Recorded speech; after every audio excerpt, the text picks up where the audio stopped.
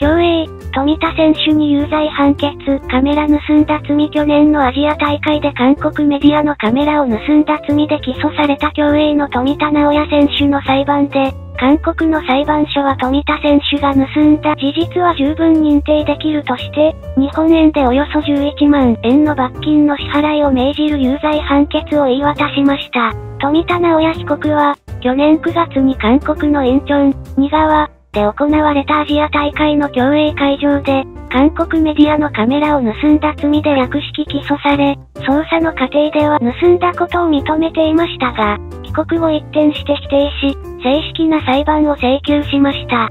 これまでの裁判で、検察側は犯行の瞬間だとする防犯カメラの映像や警察署での取り調べの様子を映した映像も法廷で公開し、富田選手の犯行に間違いないとしていましたが、富田選手は、競泳会場の映像の人物は自分ではなく、映像も不鮮明だ、などとして無罪を主張していました。28日の裁判でインチョン地方裁判所は、捜査段階で犯行を認めており、被害者に謝罪までしている、と指摘した上で、何者かがカメラをカバンに無理やり入れたという主張についても、奇妙で信じがたい、と述べました。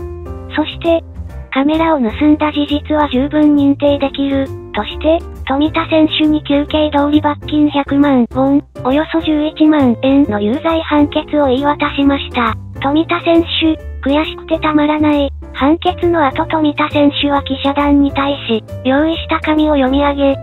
主張が認められず誠に残念だ。悔しくてたまらない、と述べました。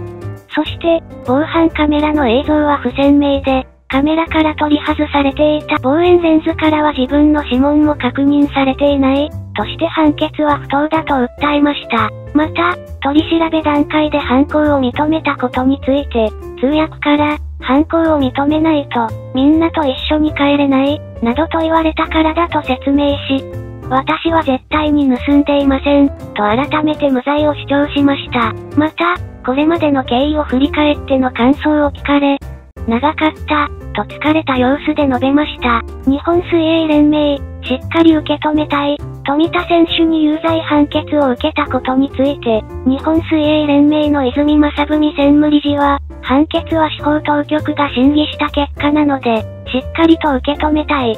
同時に、私たちは再発防止のため選手の教育を進めているところなので、もう一度、襟を正して取り組んでいきたい、と話していました。先ほどの動画はいかがでしたか？このチャンネルでは先ほどのような面白い動画や、興味のある動画をまとめています。オリジナル動画も作っていく予定ですので、よかったらチャンネル登録お願いします。